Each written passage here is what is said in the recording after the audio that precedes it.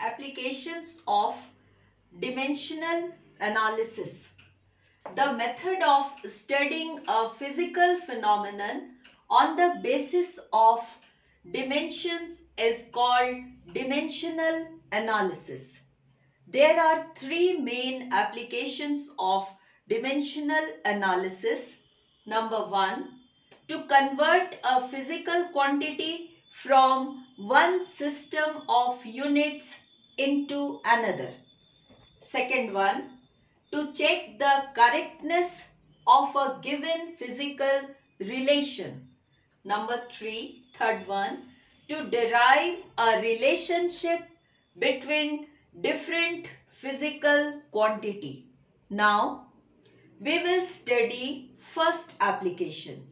The to convert a physical quantity from one system of units into another. Now in this first application, it is based on the fact that the magnitude of a physical quantity remains the same whatever may be the system of units. So, see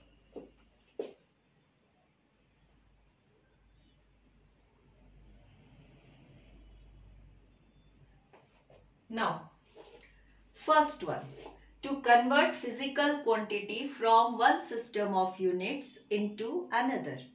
Let us consider, let U1 and U2 be the units of measurement of a physical quantity Q and N1, N2 are the corresponding numerical values. Then we know that a physical quantity Q is a product of numerical value and unit. Physical quantity is a product of numerical value and unit. Let then Q is equal to N1 U1 is equal to N2 U2. Physical quantity Q is a product of numerical value and unit. Let 1 be the 1 be for first unit and 2 for second unit. Then we can write physical quantity Q is equal to N1 U1 which is equal to N2 U2. Let M M1, L1, T1 be the sizes of fundamental units of mass, length and time in one system and M2, L2, T2 be the corresponding units in another system.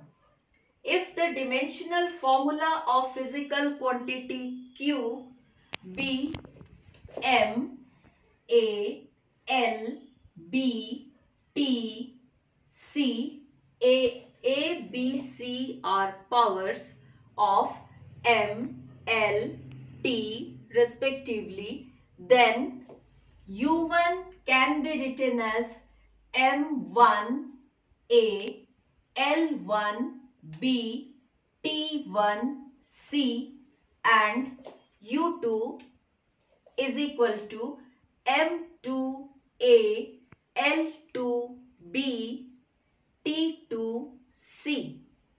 Therefore, N1, M1, this one. Therefore, N1 into M1, A, L1, B, T1, C is equal to N2 into M, M2A, L2B, T2C. From this equation, we can write N2 is equal to M1 upon M2 with power A into L1 upon L2 with power B into T1 upon T2 with power t. This equation this equation can be used to find the numerical value in the second or new system of units.